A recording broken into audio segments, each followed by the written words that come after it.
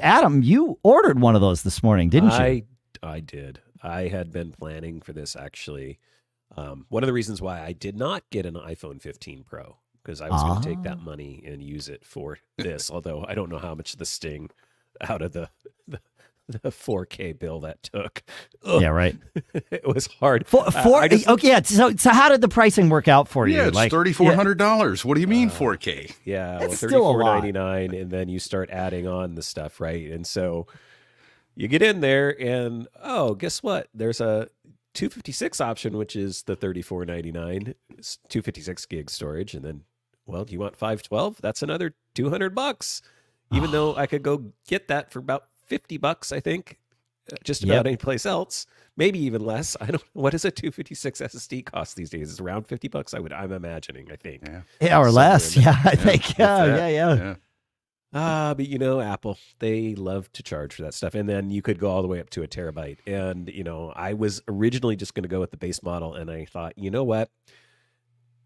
I'm not going to be buying like every version of this thing. So, like, my option to upgrade is not going to be like, I'm not spending another four grand next year for the two or whatever, or two years, whatever it is.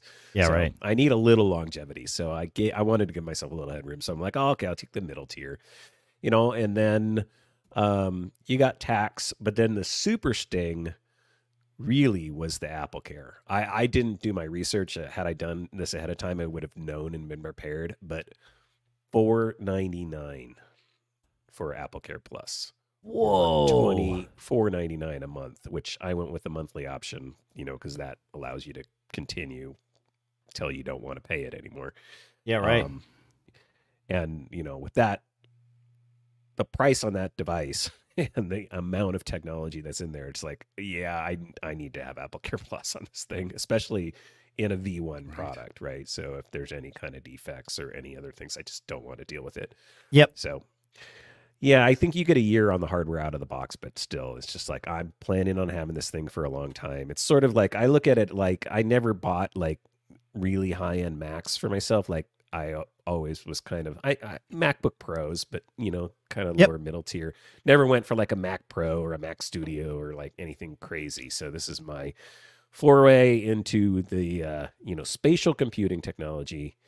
And, Yeah, I'm- uh, I'm curious what like what are you what what drove you to buy this? Like what what what are you going to use it but uh, for like I'm I'm just curious. Yeah. So the number one thing is, you know, I'm very interested to just use this, see if I can use it as on a daily basis for my work, for doing programming and development work, right? The idea of having basically infinite desktop is very appealing to me as a Yeah. developer and a programmer. You know, I have two screens now. I've wanted bigger ones for a while. I haven't invested in those. So that's another place. Like I have really just bare bones screens. I don't have five, I don't even have 4K screens. I have just regular screens. Okay. So, um, Yeah. You know, I'm looking to see if that experience works out. It'll be interesting to see with the weight and all that stuff how that how that pans out. But that and then you know I like I like entertainment and watching movies and stuff like that. So I think that is going to be my other Great. big use case is just entertainment consumption. Um, you know, I, I'm frankly the only person in my house I think that actually watches TV like on the TV. right, you've said that. Yeah, yeah, everybody, else just else watches just on their uses their phones or whatever. their phone. Yeah.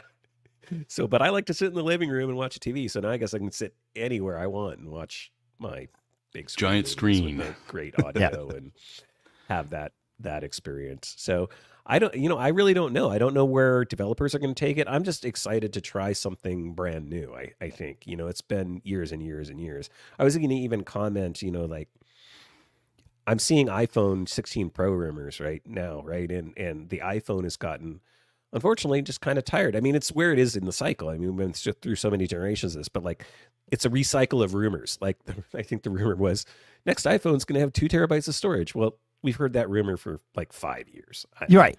Right. You're like, Yeah. so what? Yeah. Yeah. Yeah. yeah. So, just excited to try something new.